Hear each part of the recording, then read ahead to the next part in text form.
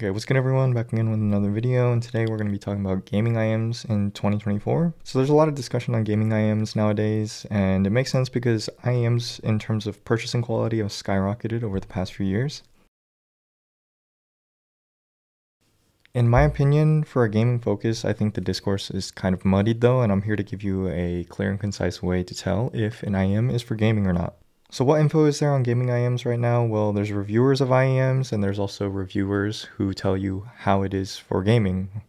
Take Crinacle for example, you all know him if you know anything about IEMs. If you don't know a lot about IEMs and you don't know who he is, he's basically like the main content creator of IEMs right now. And in his video discussing gaming headphones, not gaming IEMs, but headphones, he basically boiled it down to what headphones you use doesn't matter because you suck at the game, you're not going to make it to the league, so just get whatever. Now I agree with him in one sense, and uh, that sense is it doesn't matter the reason why it doesn't matter is not necessarily because you suck at gaming, but because IEMs don't suck anymore. You have like $20 sets that are achieving what $50 sets used to, and the $50 sets are doing what $100 sets used to, so on and so forth, right? It doesn't matter what you use because everything in 2024 is good enough. And if it's not good enough and it's really bad, you'll probably be able to tell from other reviews that don't even have to be gaming focused. He then recommends some headphones and he says something like, I would use this headphone for gaming and gaming only, not for music. And I'm here to tell you that I disagree with that point. You shouldn't get an IEM tuned for gaming. Just get an IEM with decent tuning and you'll be fine. Now, what if you are great at video games? You're either ranked grinder or you're a pro or something, right? Someone might argue, hey, in that case, you need IEMs with the best technical performance, you need the best separation, you need the best technical whatever you want to call it, right? I'm here to tell you again, it doesn't really matter, right? Let me tell you why. These are stereo audio devices, right? You have left and you have right you don't have a z-axis, it's really, really hard to get 3D audio from these stereo devices. So what this results in is you have games that are designed with stereo audio in mind, and you have games which try to have 3D and important 3D audio cues, which then end up failing. Take a game like Apex, where there's verticality on the buildings, there's verticality and movement, there's all kinds of sounds, in a game of Apex, you have full idea of what's going on based on the audio. Fortnite, however, had the balls to give you the accessibility option to have kind of this visual audio cue, which helps a lot. So tying back to IEMs, these IEMs, no matter how expensive a one you buy, won't change the fact that your game is either designed audio-wise like shit or designed well. So just get something that's basically a good IEM. So if we're not focusing on something like imaging or sound separation or technical performance, then what should we be prioritizing? And here's my list. Number one, comfort. If you're gonna grind for six to 10 hours, you're gonna grind rank, you're just trying to play as much as you can to get better, you better not feel those IEMs after a couple hours or even 30 minutes, right? So if you're watching this video, you might have never experienced an uncomfy pair of IEMs, but you probably experienced a pair of uncomfy shoes. You know the shoes that are too tight and they need a break in and you start feeling hot spots on your toes? Well, you can get those in your ears if the IEMs are not designed well. So that leads me to this first subcategory of comfort, which is shape. In my opinion, an IEM that you buy for gaming should be molded or semi-custom molded or at least rounded in design in some kind of general shape that actually considers the human ear. There's a lot of IEMs that have like sharp edges or it just doesn't look like it was made for human ear at all. Now I know these have a very strong fan base, but look how wide this thing is. And then not only how wide it is, but look how deep the nozzle goes. And then look at the nozzle itself. It is very thick. These don't feel good for me after 30 minutes. Now, keep in mind, the shape is subjective. What works for me might not work for you, and what doesn't work for me might work for you. But my opinion, after trying a lot of IEMs, this is my take. These are kind of shaped terribly if you look from the side. It doesn't really look like an ear's curvature, right? And another important part, in my opinion, is the edges or the corners, right? These corners are not rounded off very much. They're rounded off, but they're still kind of sharp. Something like the Aria that gets hundreds, maybe thousands of recommendations has a similar issue and that's made of metal so it's even heavier. The corners of these IEMs should be rounded off well enough so that you don't get hot spots there after a long period of time. Look at something like the Truthear Hola which has semi-molding I would call it and these corners are rounded off a lot. It just looks like something that was actually designed for the human ears. So in terms of the shape department, this will get approval from me. The second subcategory of comfort is weight, which also coincides with material, right? These metal IEMs are going to be heavier and you're going to feel them more over time. Whereas these plastic ones, the Hola is plastic besides the metal faceplate. Plastic ones are going to be lighter and better over time, which means better for gaming in my opinion. The second thing you need to focus on is sound signature. So this might sound contradictory, but hear me out. What you want is a V shape in a gaming IM. The reason why is because you're playing long periods of time. If you're playing long periods of time and you have the volume high, then it's going to damage your ears over time. To refer to Crinacle again, in his AirPods Pro 2 review, he referred to something called the equal loudness curve. Basically what this means is that your ear is going to hear bass and treble more at higher volumes. So if you want to turn the volume down, what you need is a boost in the bass and the treble.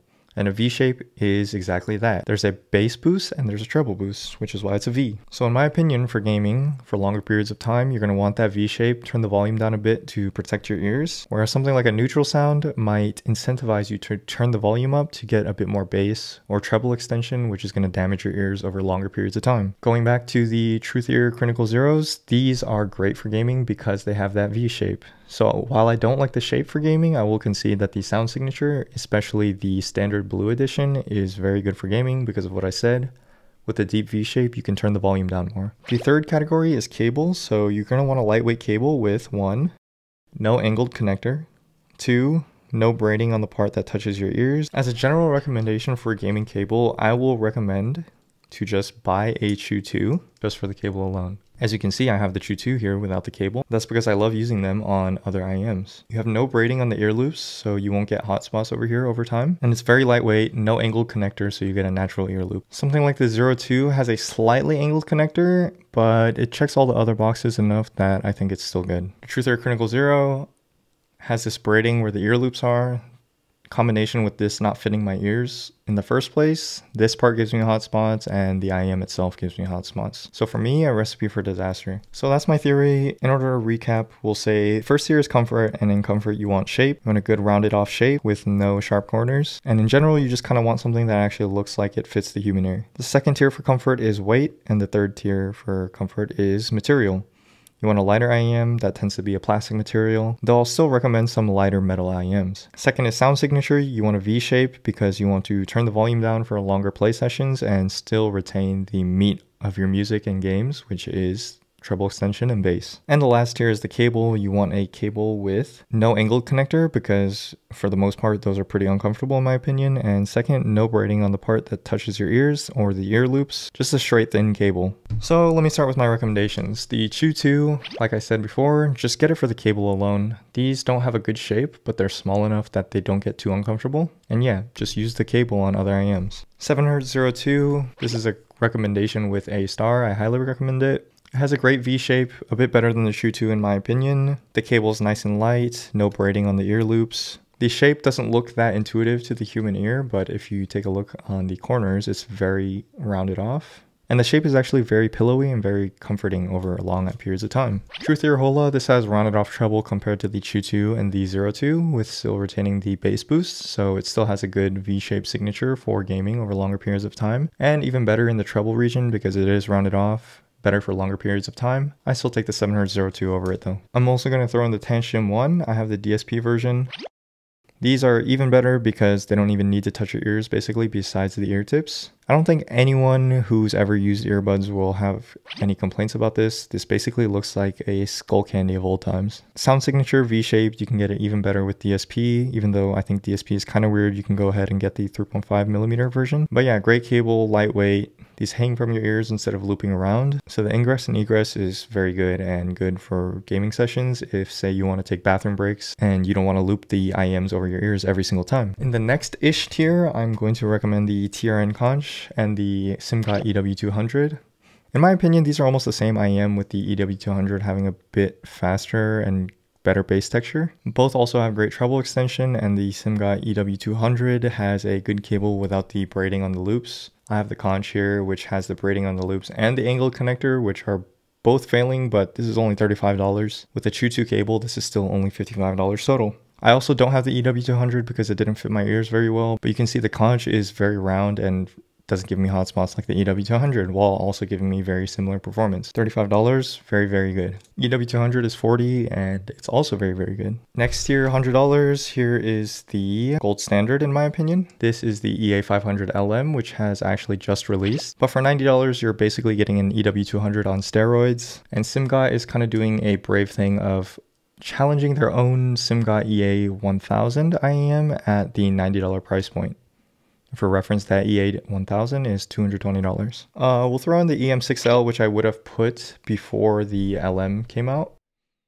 And the reason why the LM kind of kills it is because, again, SimGot has a very repetitive sound signature across all their IEMs, and the LM just does it better than the EM6L, in my opinion, because the EM6L's dri dynamic driver that's providing the bass is a lot weaker than this. Another $100 tier IEM is the S12. I only have the S12 Pro here, but planar means best technical details, which is good for gaming, and just music in general.